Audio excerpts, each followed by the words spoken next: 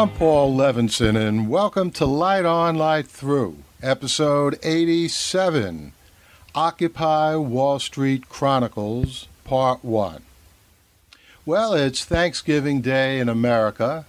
That's November 24th, 2011. And I thought this would be a good time to share with you some of the 15 blog posts that I've been writing about Occupy Wall Street since the end of September and up until a few days ago. And because I expect Occupy Wall Street in the United States and all over the world to continue, that's why I'm calling these Chronicles Part 1. Now, to give you just a tiny bit of background, it was back in February of this year, 2011, that I first made the point that the Arab Spring was really a fulfillment of Marshall McLuhan's idea that we're living in a global village. McLuhan made that point back in 1962 in the Gutenberg Galaxy, but back then it was more of a prediction, a projection, a metaphor than a description of an actual reality. But it seemed clear to me in the Arab Spring that the use of mobile phones and the various Facebook, Twitter, and YouTube connections and apps allowed people in Cairo, in other places in the Middle East, to not only help organize their events out in the street, but to send videos, YouTube videos of various things that were actually happening at these events, including some of the brutality of the government responses to these gatherings. So, with that in mind, I wasn't surprised at all to see the same sort of thing begin to happen here in the United States and elsewhere in the world. Actually, I was in Barcelona in May of this year and I saw out on the Rambla demonstrators. They called themselves then the May 15th movement. And it was interesting to me because Spain is a democracy. Egypt was not, still is not, as a matter of fact. But it was much the same as the Arab Spring.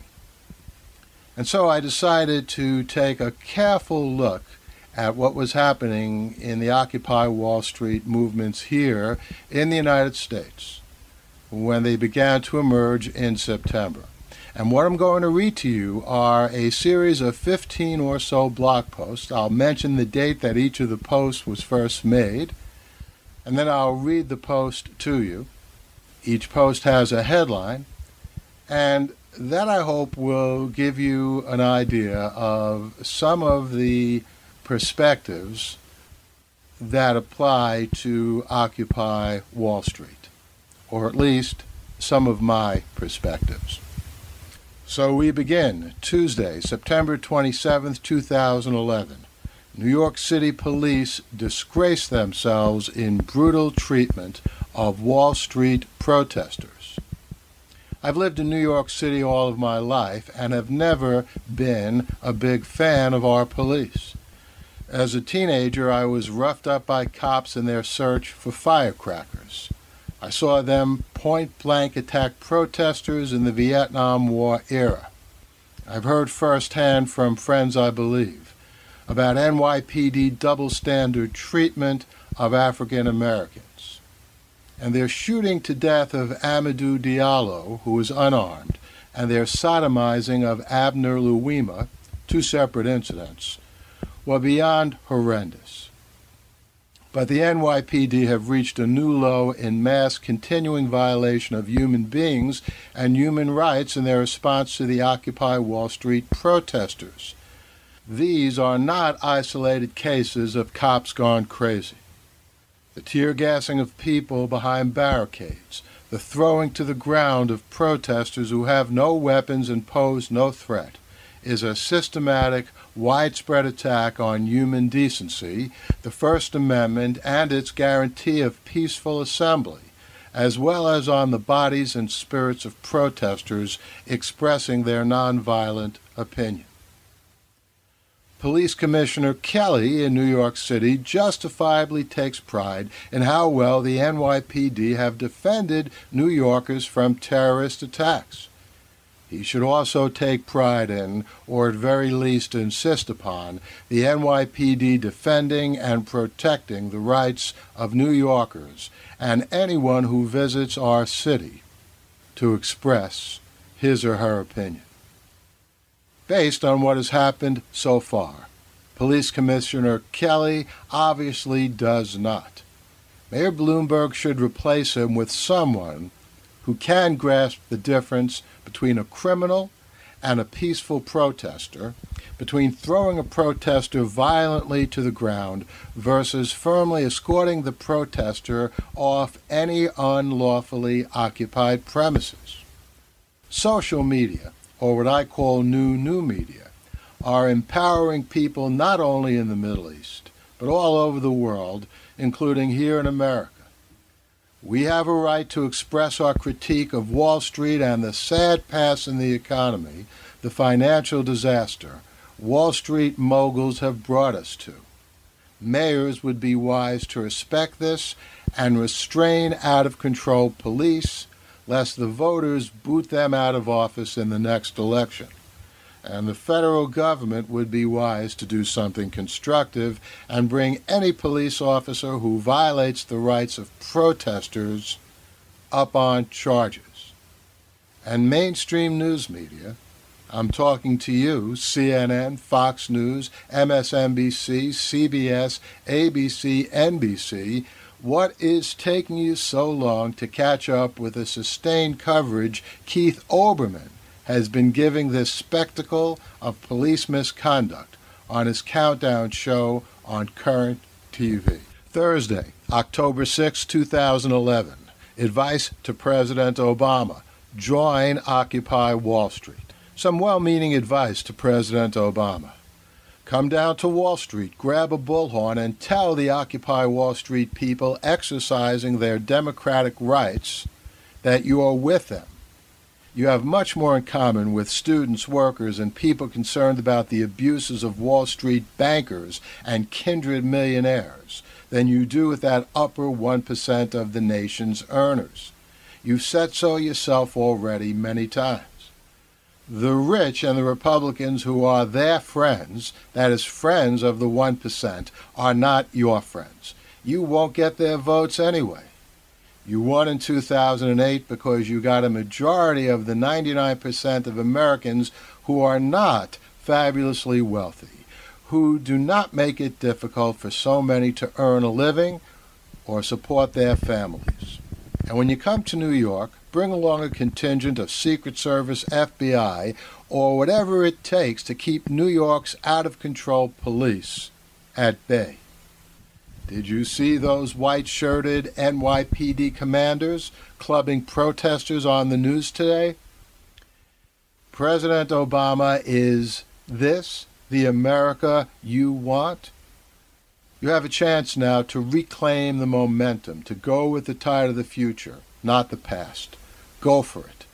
Go with the tide of direct democracy, not the regressive reins which have tied up our government for so long and are starving our people of their future. Sunday, October 16, 2011. Occupy Wall Street, Direct Democracy, and Social Media.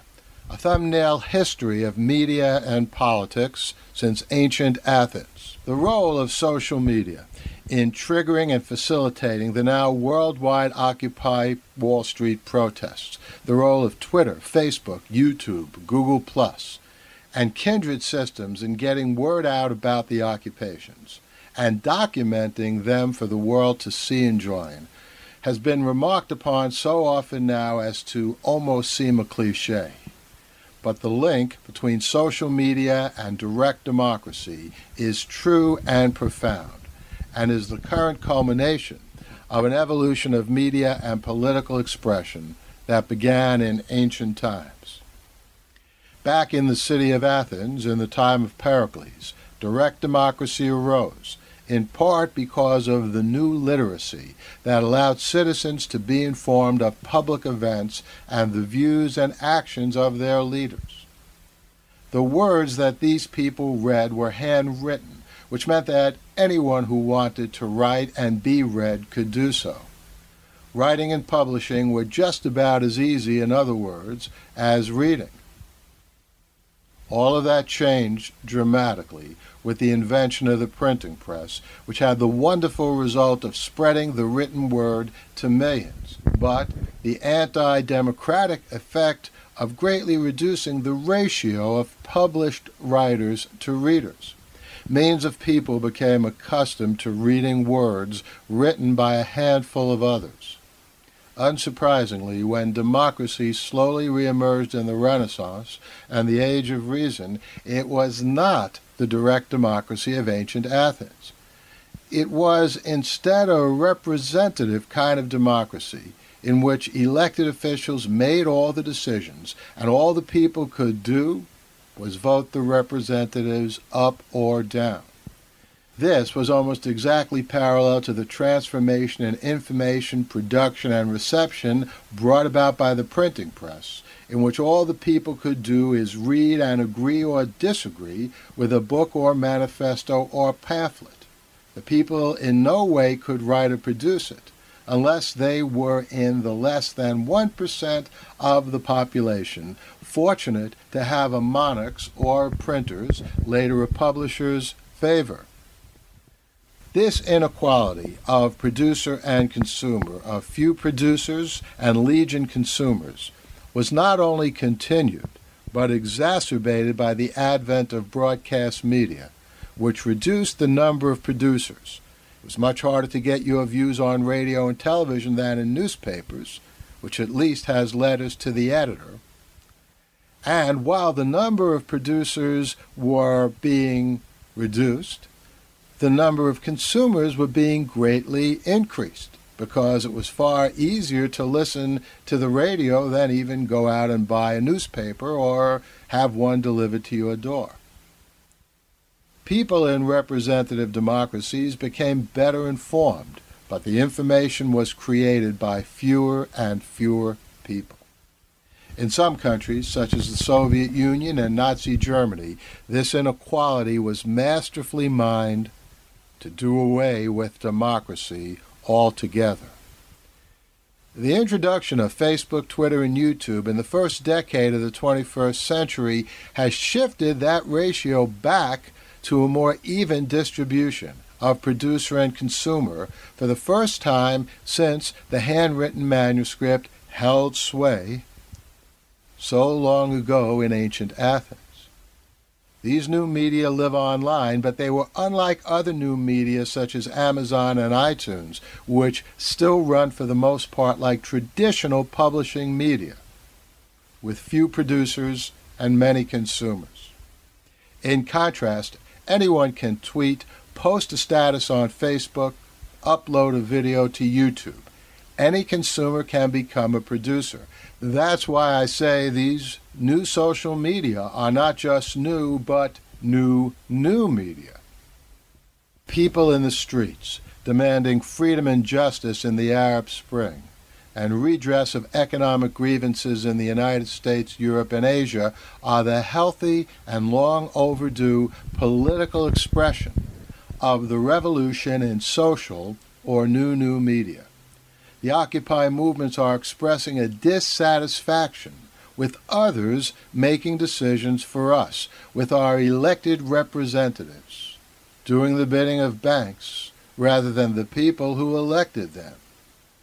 With means of expressing one's political views in almost everyone's pockets and hands, the age of mass media and representative democracy may well be in irreversible decline replaced by the more equitable system of direct democracy in which the majority not only truly rules, but in which everyone's views can get a public hearing and everyone can vote at any and all times. I talked about all of this a bit more and led a discussion after the 7 o'clock screening of Tiffany Shlain's new movie, Connected, which was at the Angelica Film Center in New York City on Wednesday, October 19th. I also discussed many of these issues on Good Day Street Talk on Fox New York 5 on a panel discussion taped Thursday, October 20th. It was broadcast the Saturday of that week. And on Light On, Light Through, I'll have links to these videos. That's L I G H T O N, L I G H T T H R O U G H dot com. light on light through dot com. Let's get on to the next post. Friday, October 21st, 2011. Obama should call in the National Guard to restrain the NYPD in Occupy Wall Street. Consider the following. Professor and author Cornel West was just hauled off in a police paddy wagon up in an Occupy Harlem protest in New York City. Professor and author Naomi Wolf was let off in handcuffs earlier this week when she was walking on a street deemed off limits, a public street by the NYPD. And a woman seeking to close her Citibank account as part of the Occupy Wall Street protest was arrested. President Obama finally announced the end of the U.S. occupation of Iraq today. Now he should send some of our National Guard to New York City to restrain our out of control NYPD because clearly Mayor Bloomberg and Police Commissioner Kelly either can't or don't want to restrain the NYPD. Earlier this week, we also saw the inspiring lecture that former Marine Shamar Thomas delivered to the NYPD. Quote, You're supposed to protect us, not attack us, unquote, he said. There were videos of that all over the web. He was not arrested, by the way. Bloomberg still has a clever sense of public relations. He doesn't want a video of the NYPD taking into custody a former Marine. But professors and authors and other law abiding citizens, well, hey, they and we are apparently fair game to arrest on camera. It's becoming more clear every day that what we most in New York City need protection from is our own police. October 26, 2011, no expiration date on the First Amendment. I'm in Brussels, Belgium, to give a keynote address about Marshall McLuhan tomorrow. I've been enjoying the conference on the philosophy of McLuhan as well as this wonderful city. But I've been following with grave concern the police aggression against Occupy protesters in Oakland, California and Atlanta, Georgia, and I wanted to offer to police everywhere in the United States the following point, which is there's no limit in the First Amendment on the amount of time people can peaceably assemble. No time after which the First Amendment doesn't apply. An assemblage can be an hour, a day, a year. So when right wingers tell you the Occupy protesters have made their point, they should go home, and the police should make them do that by force, those right wingers are only displaying their ignorance of the law. And that's okay. People are entitled to be ignorant of the law, but police and law enforcement are not. And when police break the law, or based on ignorance of the law deprive citizens of their rights, that is a serious form of crime. It's a crime that we, the taxpayers, are paying for. No person with a conservative philosophy, no American, should be okay, let alone happy about that. I call upon police everywhere to respect the law. Don't follow an illegal order by your commander. You know what the First Amendment says and doesn't say. And again, I urge Obama to consider calling in the National Guard to protect Americans being forcibly deprived of their rights. Just as Dwight David Eisenhower did bravely for people in the South being deprived of their rights by local authorities in the 1950s. Saturday, October 29th, 2011. Into the mind of a conservative bully. Here's an insight into the mind of a conservative bully, or maybe a glimpse of an oft used game plan favored by unprincipled conservatives in their debates, online and otherwise, with the progressives at hand. A Facebook, quote, friend, unquote. I put that in quotes because this guy's not really a friend, not even online, let alone in person takes issue with one of my many comments decrying the out of control police attack on peaceful Occupy demonstrators out in Oakland, California. They got just what they deserved, he says, appropriate for anyone who defies the authorities and breaks the law.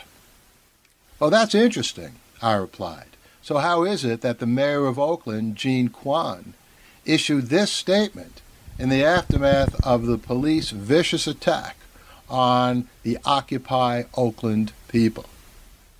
And here is Jean Quan's statement. October 27th, 9 p.m. I am deeply saddened about the outcome on Tuesday, Quan writes. It was not what anyone hoped for. Ultimately, it was my responsibility, and I apologize for what happened. Today, I, Mayor Quan, visited Scott Olsen. This is the former Marine who bravely served in Iraq, shot in the head by the cops with a rubber bullet, landed him in the hospital in critical condition. But back to Quan's statement. Today I visited Scott Olsen and his parents because I was deeply concerned about his recovery, and I hope we will keep them all in our prayers.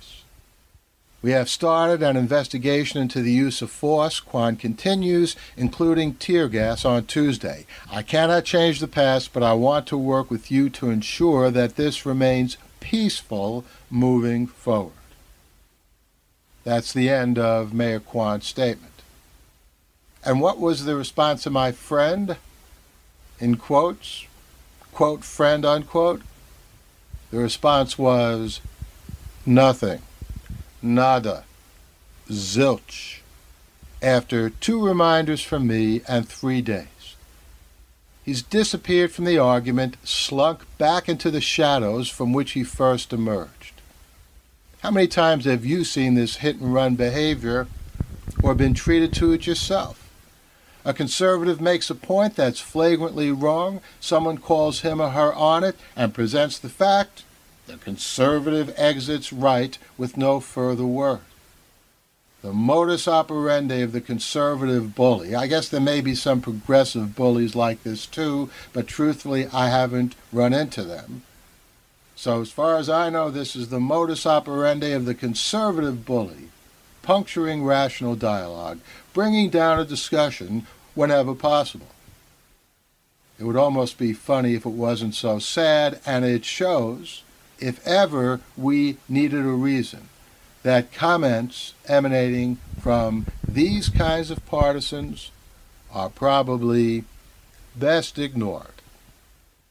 Wednesday, November 2nd, 2011, Bank of America bends to the will of the people. Bank of America yesterday bowed to the will of its customers, withdrawing its plan to charge five bucks a month for use of its precious debit cards.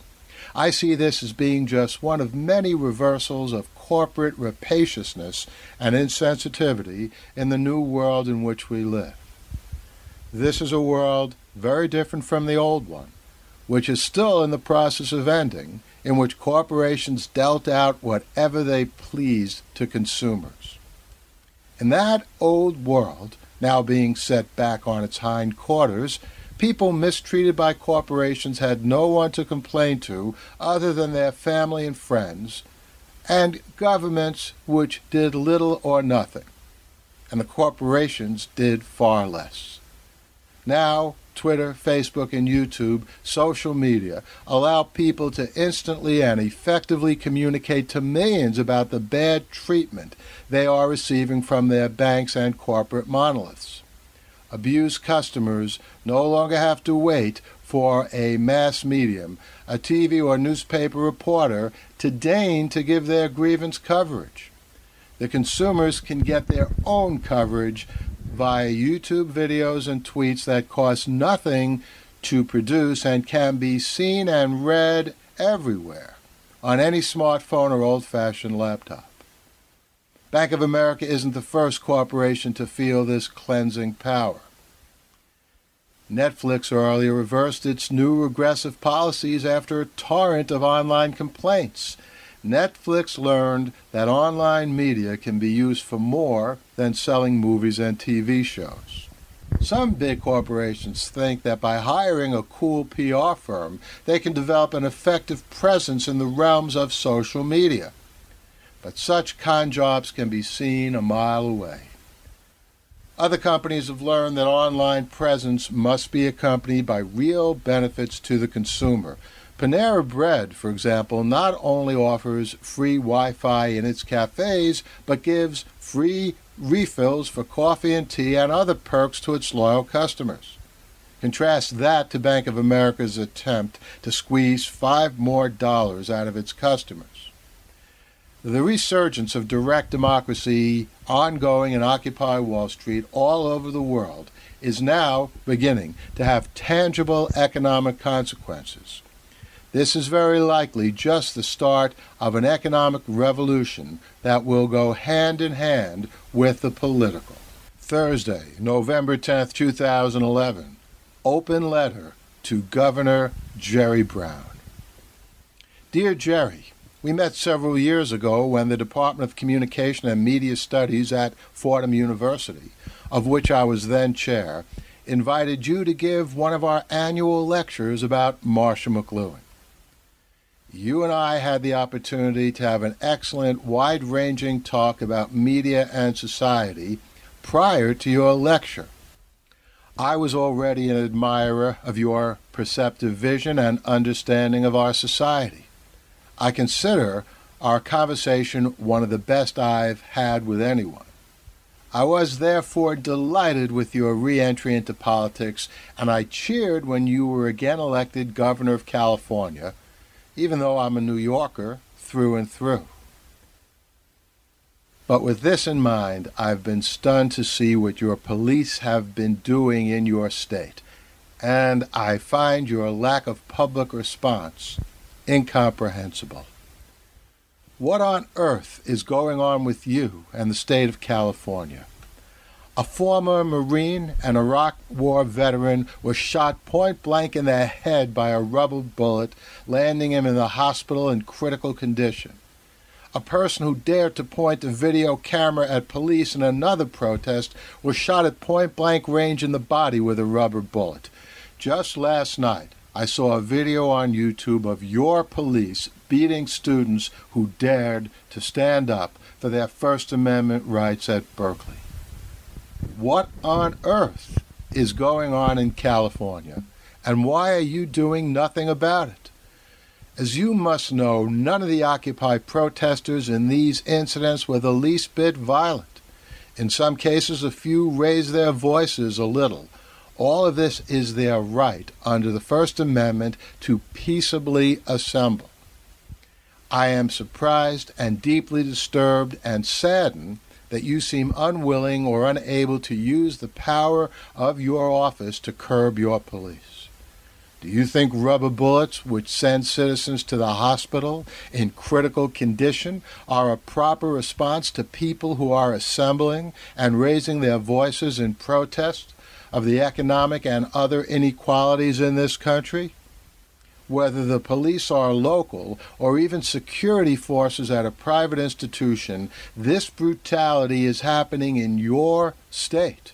And as governor, it is your responsibility to stop that. I know you were once in a seminary and thought of joining the priesthood. I was always glad that you brought that sensitivity, that awareness of the human condition to your important work in government. Our nation, your state, stand at a crossroads now.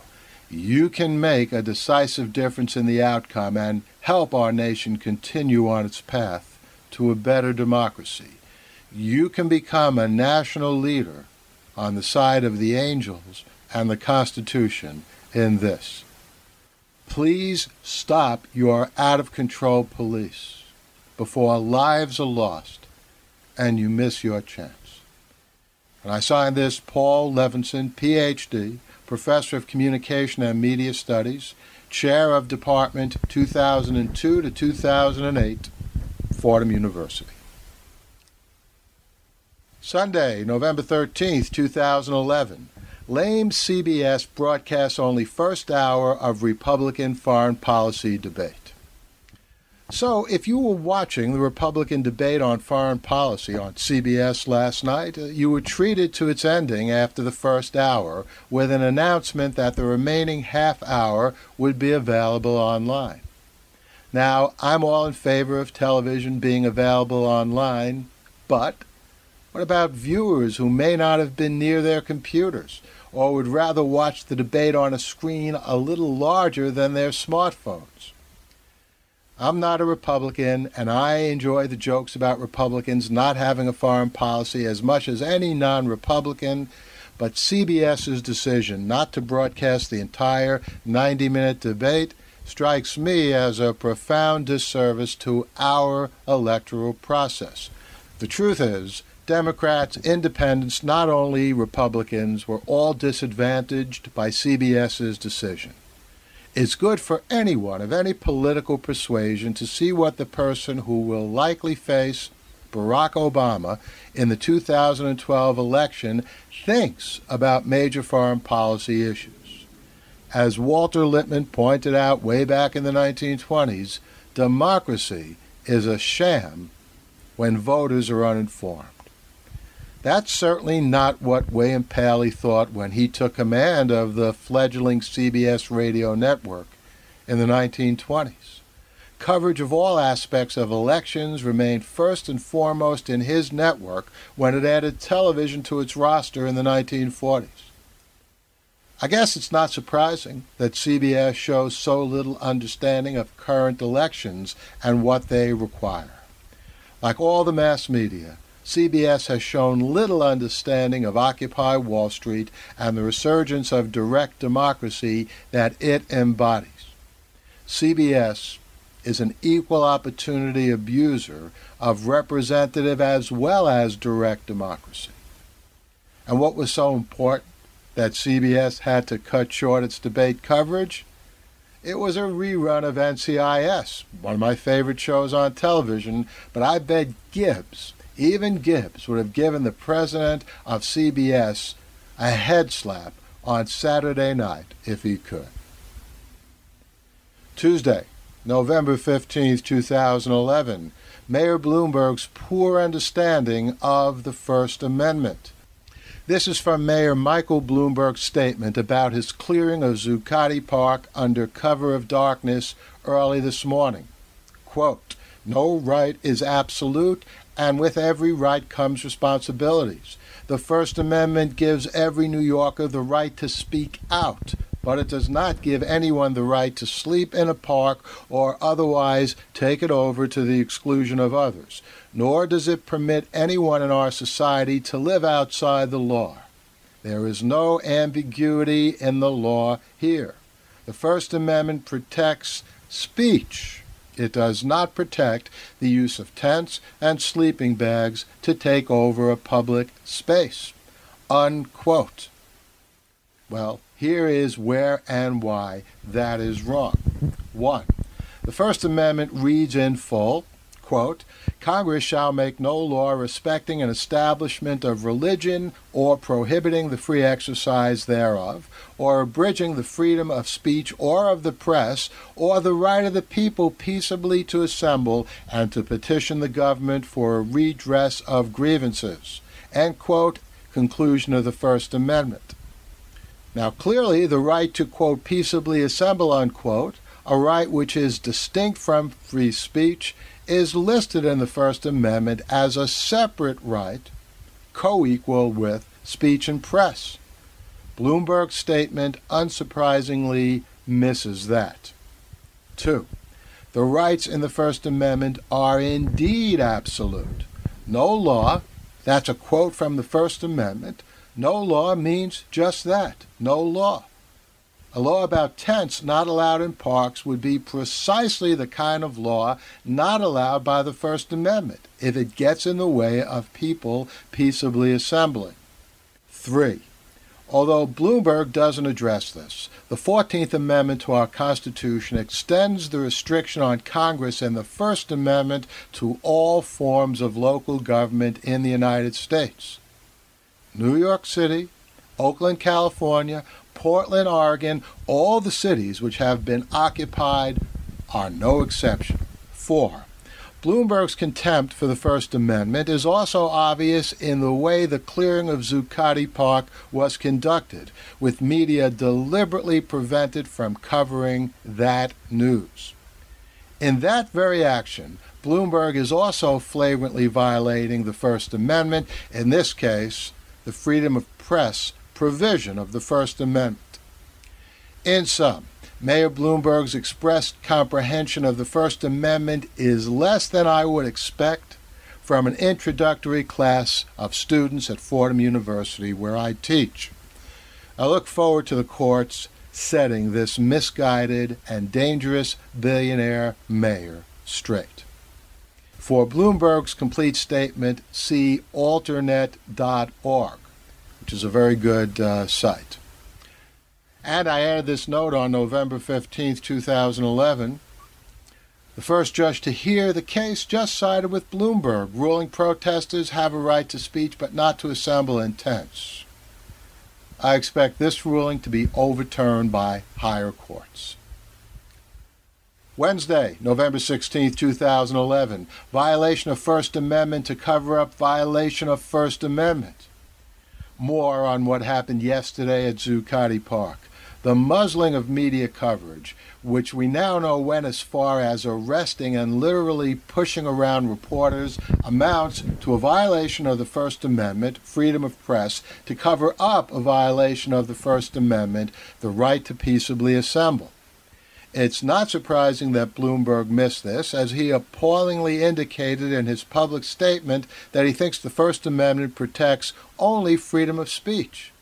But as I pointed out in my last blog post, the First Amendment also quite obviously protects freedoms of press and peaceable assemblage, for which, by the way, no expiration date or limitation on duration of assembly is given.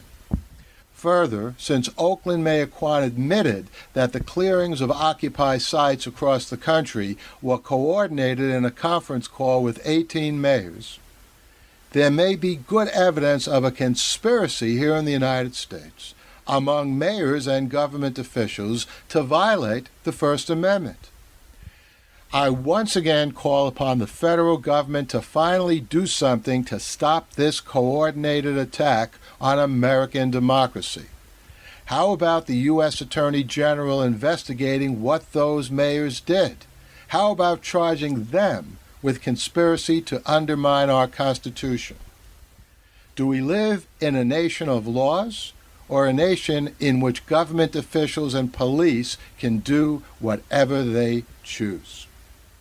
Sunday, November 20th, 2011. What Occupy Wall Street has shown us about Bloomberg, Jerry Brown, and Obama. About Mayor Michael Bloomberg of New York City. Trampled on the First Amendment freedom of peaceable assembly rights of Occupy Wall Street protesters in Zuccotti Park trampled on First Amendment freedom of press rights of all New Yorkers and Americans by banning media from his forced eviction of Zuccotti Park protesters, has supported police beating of protesters, roughing up of journalists, arrest of protesters and journalists, conspired with 17 other mayors to launch nationwide clearing of Occupy Wall Street sites in cities across America I would not vote for Michael Bloomberg if I lived in New York City, where I work. I will never vote for him for any other offices. I would like to see a federal investigation into his Occupy Wall Street conduct. About Governor Jerry Brown of California. Has remained silent as police in cities and campuses in California have shot rubber bullets at protesters, one point blank at the head of an Iraq war veteran that put him in the hospital in critical condition, and also at people with camera phones, and who use pepper spray wantonly with no provocation at UC Davis, and has remained silent as police beat students at Berkeley I once admired Jerry Brown's vision and had an impressive hour long conversation with him at Fordham University when I was chair of the Department of Communication and Media Studies several years ago. I no longer admire him, to say the least. And, unless he moves very quickly now to protect the people in his state from police brutality, I will speak out against him if he runs for any office again about President Barack Obama of the United States. He has also been silent about all of the above. I voted for him in 2008, and I wrote and spoke out in his favor many times. Just search for Paul Levinson and Barack Obama on Google, and you'll see the dozens and dozens of blog posts. President Obama's silence about the above attacks on Americans exercising their First Amendment rights is making me begin to wonder if I will ever be able to vote for him again. Sunday, November 20th, 2011. Jay Carney and Obama have it all wrong about police and Occupy Wall Street. Did you catch this statement the other day from White House Press Secretary Jay Carney? And this is a quote from a, an online source.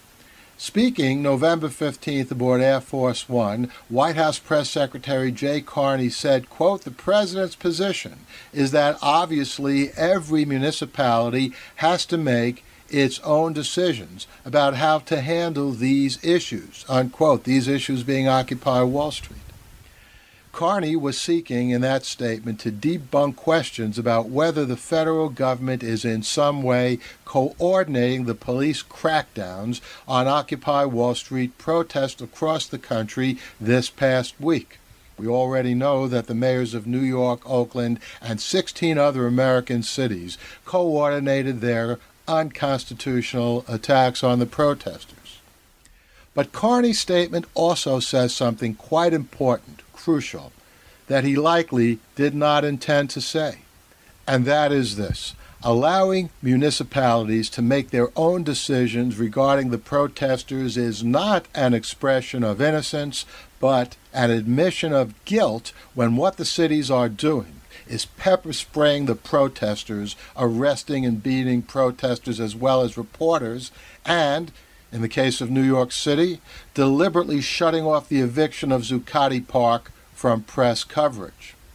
The First Amendment guarantees citizens the right to peaceably assemble. The First Amendment says, quote, Congress shall make no law abridging the freedom of speech or of the press, or the right of the people to peaceably assemble, unquote. And the Fourteenth Amendment extends that restriction to all levels of government, including municipalities.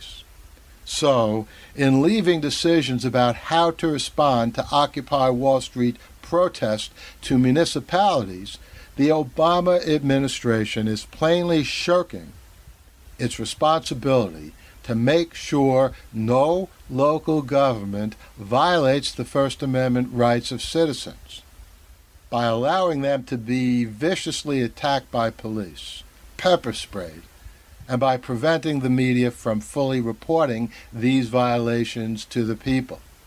Thank goodness that someone was there with a video app on a cell phone and was able to show the world what those criminal police out at UC Davis were doing to the protesters.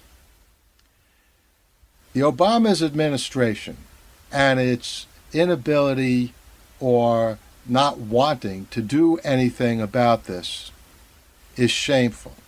And Jay Carney's statement is not only shameful, but an admission of an inability to govern by the Obama administration. I hope President Obama and his advisors wake up to this disgrace and outrage before he's voted out of office.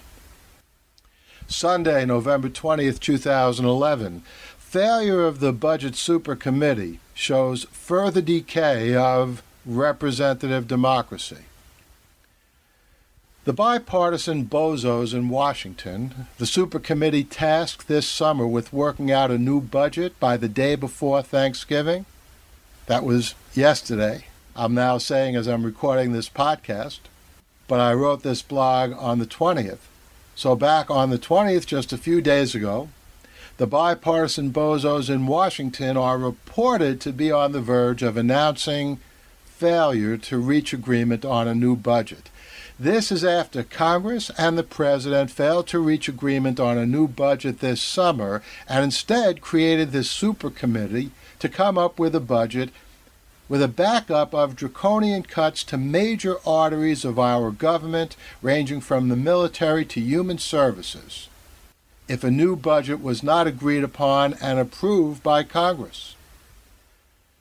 Here's the upshot. At a time when our and the world's economy are in serious crisis. At a time, in other words, in which government is more needed than ever, our representative government in the United States is incapable of performing. Part of it is their own fault. The Senate is tied up because it has imposed upon itself a de facto requirement of 60 votes to pass controversial legislation. Constitutional scholar Lyle Denniston quotes Senator Jeff Merkley, Democrat from Oregon, not on the super committee, as noting that the Constitution, quote, only specifies a, quote, supermajority, unquote, for a limited list of Senate actions. Some of them are ratification of treaties, conviction of a president in an impeachment trial, overriding presidential vetoes, approving constitutional amendments. End of Lyle Denniston's quote. Nowhere does the Constitution say that 60 votes are required for difficult or controversial legislation. Indeed, I would argue that the more pressing the need for some kind of legislation, the more illogical and counterproductive it is to require 60 votes. That's in addition to that requirement being extra constitutional. But there's a deeper factor at work here, one that goes beyond our elected representatives shooting themselves in their own feet. Representative democracy may well be floundering because we finally have the means in our digital age to govern ourselves, to discuss and vote upon pressing issues directly if budgets were put to a direct majority up or down vote of the American people, surely one would soon get 50% of the vote plus one. Surely, in other words, a new budget would soon be adopted. The digital revolution, social media, or what I call new new media, have given us the means to do this. Occupy Wall Street and the Arab Spring are the leading expression of this. Unsurprisingly, representative governments and dictatorships are alike in opposing these developments. But the tide of history is turning. The representative governments and the dictatorships will both continue to decay, and the people will emerge triumphant. One hopes with less bloodshed overseas and less brutality in the United States than we've seen so far. And that blog post from November 20th is the last one that I will present to you here in part one of the Occupy Wall Street Chronicles. Obviously, events are still going on. I think we're in the most significant revolution in many ways since in the United States, the American Revolution itself certainly since the protests against the Vietnam War in the 1960s. And when you add into this the new media that I've been talking about, media which the protesters can hold up in the face of police brutality and maybe not stop that brutality at that instant because a cell phone can be beaten down by a club. But if that cell phone can convey to the rest of the world what's going on, for the first time in history, police can't get away with their brutal response to protesters. This actually began with the beating of Rodney King, really the first time in our recent history that a police beating was seen by more people than those that happened to be there as it was happening. So I'm optimistic indeed that the tide of history is beginning to turn. In the meantime, those of you in America, I hope you enjoy your Thanksgiving, and those around the world, I hope you enjoy your Thursday. And I'll be back here soon with additional thoughts on Occupy Wall Street. Thanks for listening. Hey, I'm back with you. I just came across this after I recorded the podcast. It seems that on Wednesday, November 23rd, the NYPD has been ordered to let the press do its job. And this obviously pertains directly to the NYPD, New York City cops, not letting the media cover the story of the evacuation of Zuccotti Park. This was reported in the New York Times. So that's progress. That's good news.